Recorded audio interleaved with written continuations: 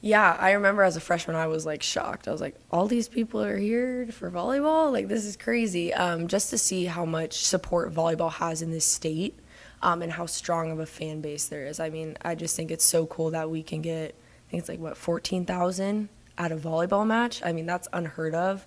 Um, it just shows how much support volleyball has in the state of Nebraska, which I think is really cool.